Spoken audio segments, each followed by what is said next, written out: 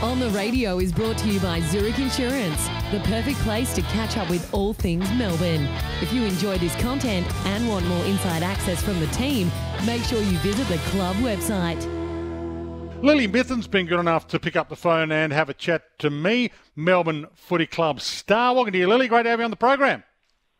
Thank you, Dwayne. Very nice introductory. It's uh, yeah, good to be here. Thanks for having me. Well, you're a local. You're a you're a local uh, Geelong girl, even though you're a Richmond fan as a kid. You did break for the Tigers, didn't you? I did. Yeah, Dad sucks me in. Um, as you would know, Dad's an avid Richmond supporter, and he, uh, he so I had a long, many years of uh, childhood pain, but then thankfully they've uh, come good the last couple of years. But um, yeah, grew up a Tiger, even though uh, it was the uncommon thing to do being a Geelong girl. He didn't try and turn you into a jockey. Oh, he. I think he would have liked it to some extent. I would have been a perfect little size for a jockey, but I um I've got no idea about horse horsecraft. I uh used to look at them out my bedroom window, but um that was sort of as close as I used to get. and I think you're a Richo. Were you a big Matthew Richardson fan? Is that uh, who inspired you to become a footballer? I used to um I used to tell people that I'd um play with or against Matthew Richardson. So I, I never thought that that was uh, anywhat likely, but thankfully the AFLW came along and um, I could play at the elite level. But massive Richo supporter. That was my favourite thing to jump in the car and head up the highway to watch the Tigers on a Saturday afternoon at the G and just scream Richo's name. So um, I um, yeah, I loved Richo. He's just a uh, amazing footballer um, when he used to play, and yeah, he was a massive reason as to why I fell in love with the game. And um, yeah, thankfully, Dad Anthony Mithen was on the board, and I was often in the room, so got to know him a little bit as a kid, and I just thought he was the coolest man alive. He is cool anyway. I mean, he's cool off the footy field and uh, universally loved by everybody. So I can see why people will gravitate towards him, whether they're Richmond fans or not. Now, I'm lucky because I've got you on my though. program. That was issue. I'm glad you said that, not me, Lily. uh, it's, it's, just the truth, isn't it? uh, no, no comment. Um, I'm refusing to answer that question just in case it gets back to him. Um, I'm lucky to have you on my program, even though you've drawn, drawn the short straw. They put you up after your first loss of the year. I know. It was, uh, yeah, funny, funny trip to Adelaide. We've got an interesting relationship with the Crows. We've um, been head to head many times in, I guess, the last six years of the AFLW competition, and uh, they've been too good in the last couple of occasions. Um, the first time we played over in Adelaide was the prelim last year at Adelaide Oval, and they um, comfortably beat us, which was disappointing, and we're hoping to head over there to get some redemption, but unfortunately they were too big and strong and outplayed us on the day. So it wasn't um, the most ideal Saturday afternoon in a hot sort of 31 degrees at Norwood Oval, but um, definitely lots of learnings to take out of it, as all good football media trained people say that there's learnings to come out of losses. And um, but it was definitely one of those days we just sort of got outplayed and didn't get our game style going. But um, looking forward to another good opportunity to put the game style in practice and play Gito, uh, sorry, the Gold Coast Suns this weekend. Yeah, it's at uh, Casey Field for those people unaware. Sunday, this coming Sunday, 5 10 start. So if you want to get it's along actually, and um, watch the Melbourne it's actually footy. game. In, this, in these weird COVID times, we've just had a fixture change, and it's uh, now 7 10 game at Casey Field Saturday night. So play under lights and get down, um, D fans. It's a Saturday night thriller at Casey.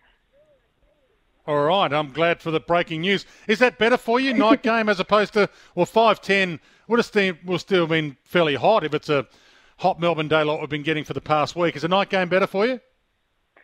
I really like playing night games at Casey. It's always good atmosphere, and um, yeah, night games are probably a little bit easier at the moment given how hot the weather's been. But um, doesn't doesn't really bother me. But I do think night games do create a bit more atmosphere and always a bit of fun. And then you have the added bonus that hopefully the cool breezes come in a little bit, and it's uh, the playing conditions are slightly more comfortable. Daniel Harford's opened up the when should you play summer or winter can of worms again. Have you got a thought on where you think the, the AFLW season is better placed uh, in the middle of summer like it is now, so you get clear air and it's the only footy on, or in the winter as a as a side by side sport with the AFL? it is a tricky one. I see pros and cons to both um, sort of time frames. I think in the summer the spectacle can be a little bit better given that it's drier and you're not playing in sort of muddy mud um, grounds where conditions can sort of make it um, harder to execute skills, whether it be rain and wind and um, playing in the mud. So I do like the summer component to our game creates probably a faster game, um, more skillful game, hopefully more high scoring game. So for a spectacle point of view, I think the summer is better, although it is probably a little bit harder for us players to be playing in. And then in terms of, um, I guess, audience, it's it's sort of a bit of a battle because at the moment we've got clear air and there's likely to have more people to be watching us given there's not much other sport competing with us. But at the same time, if you play double headers and you rock up at the MCG at 11 o'clock and the reserves play and then the women's play and then the men's games, it's a really great afternoon for sports fans. So um, it would, yeah, there's many different factors as to why I think either one would work and uh, probably a decision for not me to be making. but it's nice to get your opinion on it, Lily, because I mean we need to listen to the, those that play the game to get an understanding as to those that are actually involved in the middle of it, uh, what they think is best. Uh, it is interesting to me also. You're playing at venues like Arden Street and Moorabbin. Uh, some suburban venues. I like the fact that footy's going back to the burbs, but I played at those venues like Victoria Park. So to me, I think there's there's a beauty in going back to some of those places. I played a lot of my junior footy at Norwood Oval, where you lost on the weekend, and that, that's one of the great venues of South Australian footy. And yet we do keep you away from from Docklands and the MCG. So, yeah, it's interesting to, to hear an opinion as to whether you deserve to play more MCG and Docklands games and not have to play in the burbs all the time. Yeah, it's it's interesting too because I guess um, it's nice to play in a big stadium where you can sort of block out a bit of wind and pack out stadiums. But mm. I think at the moment when our crowds probably aren't as big as, you know, men's obviously, we're not going to pack out an MCG and have 70, 80, 90,000 people there. So you do lose atmosphere in those big venues where it becomes a bit vast with only sort of five to 10,000 people at each game. So I do like going back to more those traditional grounds like your Vic Parks and your Whitten Ovals and, and grounds like that that do have sentimental value for long supporting fans. Um, Casey, we're building a great um, supporter supporter base out there. Lots of locals um, follow the D's very closely. It's become a real heartland hub for, for the D's fans. Um, so I do like going back and sort of giving back and making footy accessible to, um, I guess, a wider proportion of the population and the community. Um, and I think it would be interesting to, you know, for a Carlton men's team to um, play at Ikon Park a Sunday afternoon game against a team, an interstate team like a GWS is something that we're not going to get a massive crowd and fill out the G and, and bring some men's games back to those grounds. I think it's great for the game and um, for people like you that used to play there, I'm sure would love to go and watch your old side run around at grounds like Vic Park and Whitten Oval and Norwood, as you said. Yeah, they've got a soul, those grounds, and I'm sure you can probably feel it coming up from the turf. I mean, there's been a hundred years of other footballers' blood dropped on that same turf. It it does have something special about it, but so too does the MCG when you think of it that way. It's just it seems like a family event, uh, the AFLW. Yet there's so many men that go with, you know, their families and prams and you know rugs on the lawn.